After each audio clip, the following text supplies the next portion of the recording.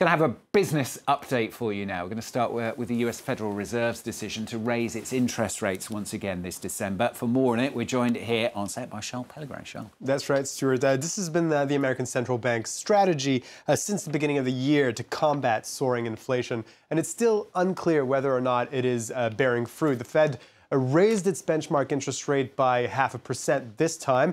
It marks the seventh rate hike so far this year. Fed Chief Jay Powell warned that high interest rates are here to stay for some time with even more hikes in the cards and that a recession in the U.S. remains possible. Brian Quinn has the details. The battle against inflation continues the U.S. Federal Reserve has hiked its benchmark overnight borrowing rate by half a percent, bringing the new target rate to between four and a quarter and four and a half percent, its highest level in 15 years. It's the Fed's seventh rate hike this year as America's central bank struggles to tame inflation that hit 9.1% in June, its highest level in four decades. And while U.S. inflation has slowed in recent months to 7.1% in November, Fed Chief Jerome Powell says interest rates will continue to rise. We are strongly committed to bringing inflation back down to our 2% goal. The historical record cautions strongly against prematurely loosening policy. We will stay the course until the job is done.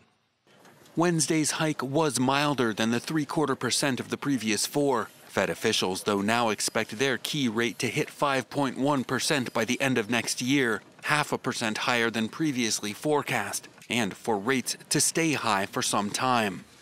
By making borrowing more expensive, the Fed hopes to cool the U.S. economy enough to slow inflation without pushing it into recession, a scenario known as a soft landing.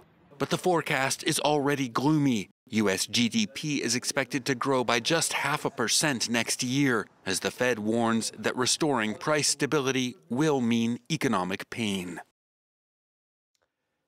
And this hawkish position from the Federal Reserve is what's driving the markets this uh, Thursday, as we can see on European stock exchanges. We're all trading in negative territory at the open. As we can see, the DAX in Frankfurt down by one third of a percent, the Paris CAC 40 down by three tenths of a percent, and the, fun, the, the FTSE in London down by two tenths of a percent. And uh, we're, we're, seeing uh, also a similar picture in Asia currently with the, well, actually, uh, Asian indices uh, re recovering after uh, initially starting the, the session uh, trading negatively on the back of that uh, Federal Reserve uh, rate hike, with the Hang Seng in Hong Kong up by 0.7% and the Nikkei in Tokyo up by just around the same amount.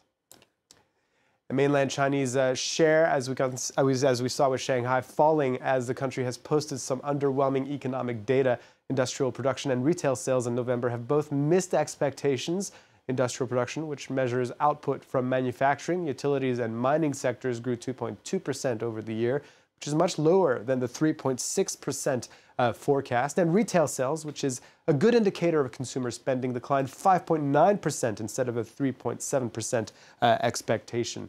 Now, even as the country is currently lifting COVID restrictions, uh, this shows the impact of the previous uh, zero COVID policy on both output and demand. Other factors are at play as well the slowdown of the property sector and exports being uh, affected by slowing global demand.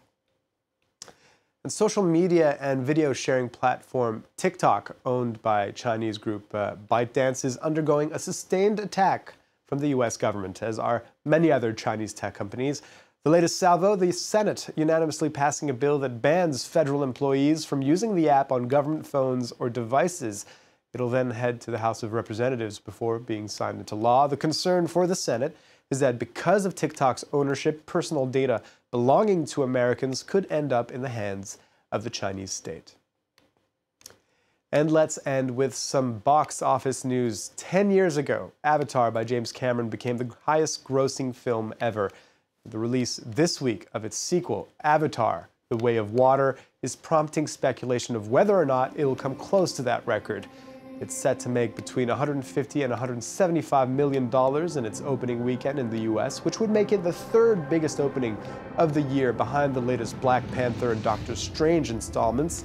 But the success of the first movie was in its staying power, playing in theaters for 234 days straight between 2009 and 2010. So, hope is the new movie will have a similar shelf life.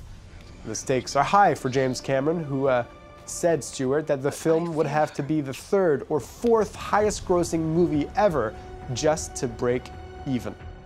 That's good. He's going to be lucky, I think. What did, did you see the first one? I did, yeah. Yeah, I remember seeing the first one. Mm, You know, it was all right. Didn't think it was that great. Anyway, I thought it was pretty enjoyable. yeah, you enjoyed the first one. Yeah. we'll see. I don't know. I don't know if I'll bother with the second one. We'll, we'll see. I'll wait for the reviews. Although I've seen a few reviews that aren't that great.